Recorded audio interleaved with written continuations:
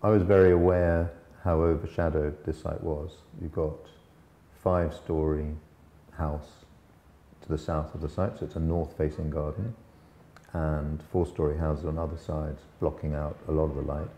Kind of gaps between the buildings that actually became crucial. What we've actually ended up, when you when you understand it now, is three sources of light. So the, the two garden areas and the skylight are where the light is, and the house is actually built where the shadow is. If you look at this roof, is there a direct link between the shape of it and some environmental condition that exists here?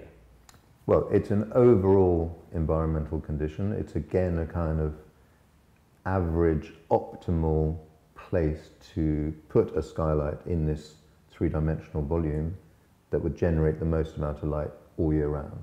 So it's just positioning this skylight really in the maximum daylight sunlight collecting position you could find, but then affecting everybody else as little as possible.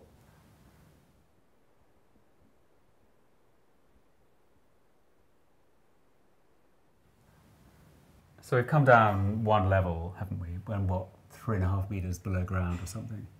Yeah, this is one of two Lightwells courtyards that serve the first basement, but they also have skylights that serve the lowest basement. And this small courtyard is, is uh, bringing light into the guest bedroom, the hallway, and a guest bathroom.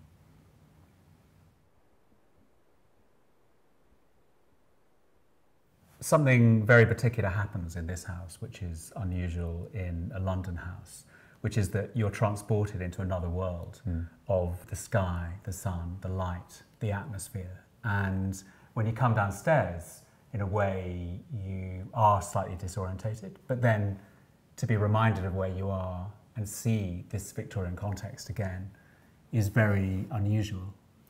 Yes, and it does depend where you are in the room itself. So some places you are situated and it's completely private, and other places you connect back to these views and the gardens above. Typically, people think that you want direct sunlight on you or a place that you can sit in the sun in you know, spring or autumn.